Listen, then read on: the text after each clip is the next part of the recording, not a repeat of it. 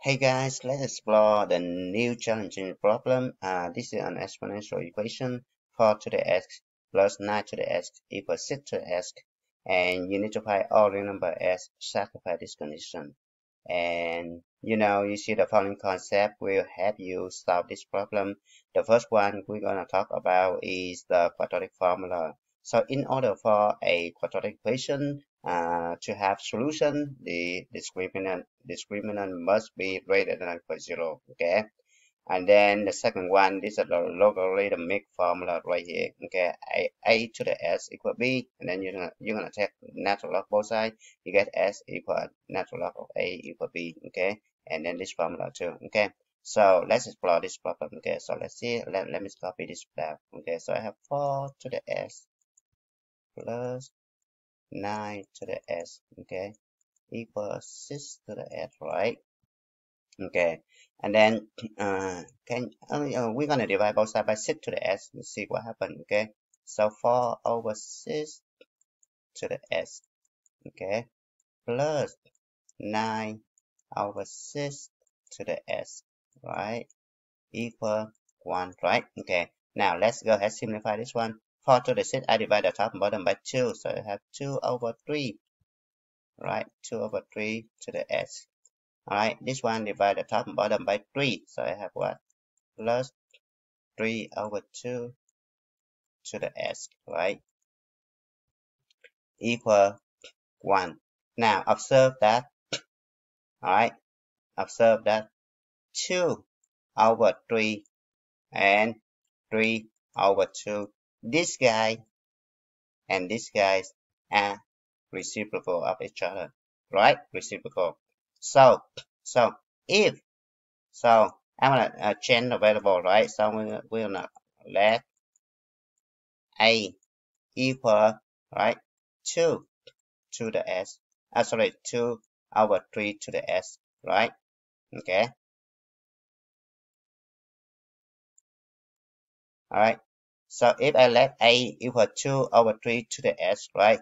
And then 1 over a must be equal 3 over 2 to the s, right? Because we just say that 2 over 3 and 3 over 2 are reciprocal, right? Okay. Alright. And note that a must be greater than 0. Okay, keep that in mind this all the time, right? Because exponential exponent uh, a uh, 2 to the uh, sorry 2 over 3 to the s always positive okay? Okay now we just substitute over here okay? 2 over 3 to the s is to be a right? So we just put a right here plus this guy uh, 1 over a right? Equal 1 right? Okay so because a is positive i'm to multiply both sides by a okay? So if this guy multiplied by a it's to be a square this guy plus 1 and this guy equal a right? Now I subtract a both sides so it could be a squared minus a plus 1 equal 0 okay? Now I need to find the discriminant of this one. Before I find the discriminant I need to identify ABC right? So a is coefficient in front, in front of a squared so it should be 1 right? B equal negative 1 right? And c equal 1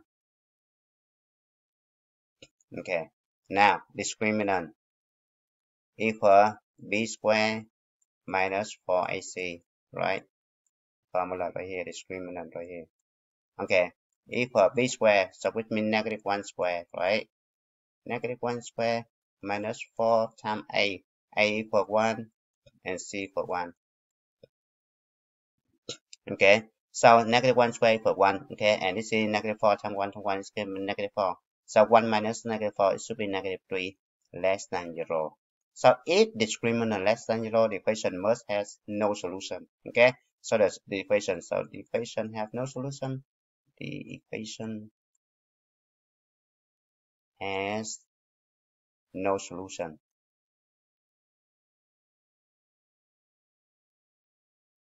Okay, no solution A, right? So if has no solution A, and then it should be no solution for S, right? So no solution.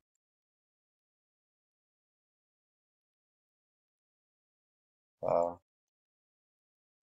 S, right? So there's no solution for S. So which is this equation has no solution. Okay, this equation has no solution. And that's it guys. Okay, so there's no solution